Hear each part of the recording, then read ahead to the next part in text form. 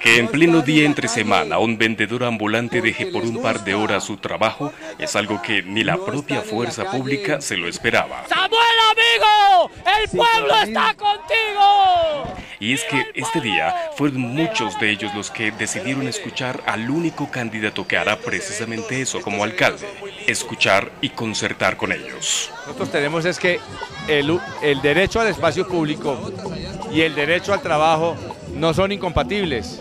Que esta ciudad debe, claro, seguir recuperando espacio público, pero de una manera muy concertada con los vendedores informales para lograr dignidad, atención, inclusión y sobre todo mejores oportunidades de empleo y de ingresos para los informales. No se ha cumplido toda la inmensa mayoría de las cosas que han tenido la oportunidad de firmarse Reunidos en pleno corazón de Bogotá, en la llamada Plaza de San Victorino, las declaraciones del candidato de lo social fueron un verdadero alivio para muchos de estos honestos bogotanos que piensan que su único pecado es trabajar. Nadie está en la calle porque quiere, nadie está en la calle eh, porque le guste. La gente está en la calle ganándose su sustento diario para llevar un ingreso importante para mantener a sus familias.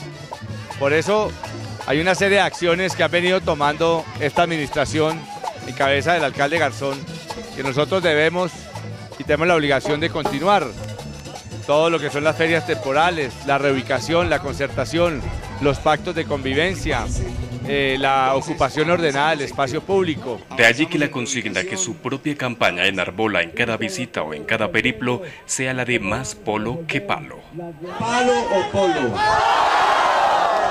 El polo desarrolla proyectos productivos. Los otros tienen una experiencia muy mala con el pasado.